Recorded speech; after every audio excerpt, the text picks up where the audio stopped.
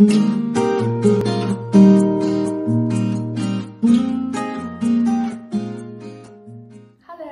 this is Chen with the Community Weatherization Coalition and today we are going to perform a dollar bill test to check our fridge seal.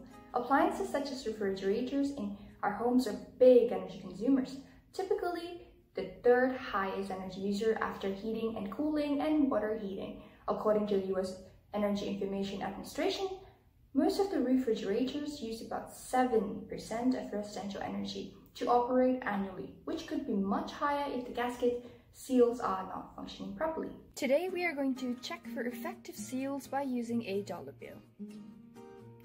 If you do not have a dollar bill, you can simply use a piece of paper like this one. For the test, you would need to first open your refrigerator or your freezer door to place the dollar.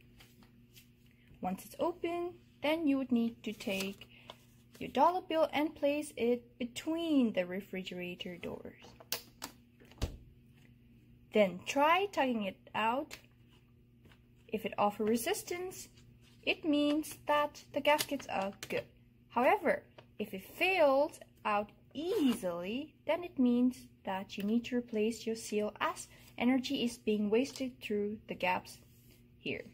Be sure to check your gasket at various spots around the fridge and the freezer so you don't miss out any spots. It's recommended that you keep your fridge temperature between 36 to 40 degrees Fahrenheit and your freezer at 0 to 5 degrees Fahrenheit. A good seal will help you keep the cold air in and will help you save money. If you're planning to replace your refrigerator, then consider replacing it with an Energy Star refrigerator. An Energy Star rated fridge saves you up to $72 for the fridge's lifespan. Another tip on how to conserve energy on your fridge is keeping it a few inches from the wall to allow for ventilation space. Additionally, always keep your fridge full as it helps save energy.